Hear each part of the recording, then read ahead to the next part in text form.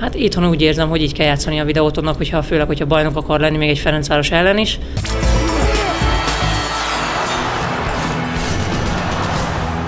Abszolút én is úgy érzem, hogy uraltuk a mérkőzést és fölényben játszottunk. Gondolom, mai nap folyamán mindent megtettünk a győzelemért. Nem is tudom emlékszem, hogy Ferencvárosnak lett volna különösebb helyzete, nekünk viszont annál több. Ma tényleg a Dénes egy nagyon jó napot fogott ki. Ugye ismét a Fadinak hozott egy pontot, nem először, úgyhogy ez mondjuk neki külön gratulálok, de, de a csapatomnak is gratulálok, mert tényleg szervezetten jól játszottunk.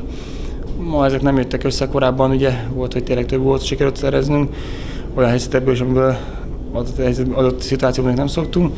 Most múlt hét, vagy két héttel ezelőtt sem most jött össze a gólszor, és ez egy ilyen periódus, de hát azt mondom összességében az első kört szépen sikerült zárni. Jó játszottunk, annak ellenére, hogy ugye döntetlen lett a mérkőzés. Gratulálunk a Ferencvárosnak, de az a játékképéhez hozzátartozik, hogy én nem emlékszem, hogy lett volna nekik olyan nagyon nagy helyzetük, míg ellentétben nekünk volt négy-öt komoly lehetőségünk, hát sajnos ezek kimaradtak, de és bizakodásra adhatok ott a jövőre nézve, hogy legalább megvoltak ezek a helyzetek, nem pedig mezőnyjáték folyt. Hát itthon úgy érzem, hogy így kell játszani a videótonnak, hogyha főleg, hogyha bajnok akar lenni még egy Ferencváros ellen is. Hát most ez egy döntetlenre volt elég, de nem vagyunk annyira elkeseredettek ezzel, ugyanis plusz egy pont az MTK-val szemben. Hát ilyen hidegben nem is probléma az, hogy az embernek ugye van dolga. Uh, igen, hát több lehetőséget dolgozott ki a videóton, ezt el kell ismerni.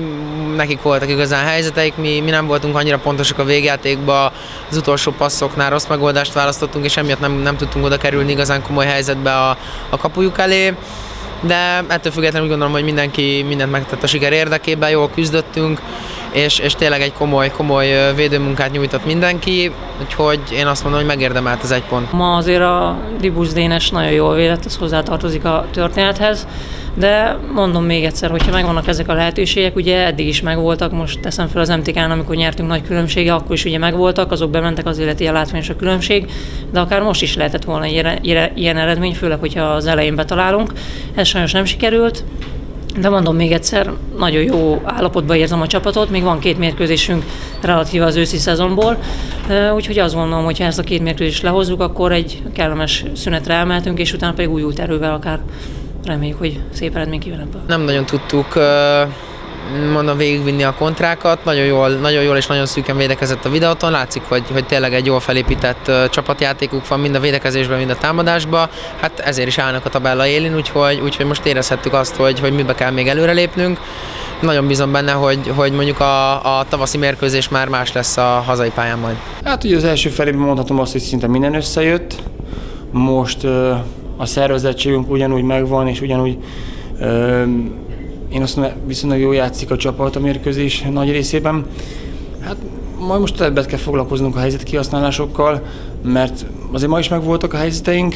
Mondom, volt, mikor tényleg a Dénes bravúra kellett, viszont volt, mikor tényleg olyan egy egyenlő szituációk voltak, hogy a kapusra mentünk két, két esetben is, amit azért illene berúgni.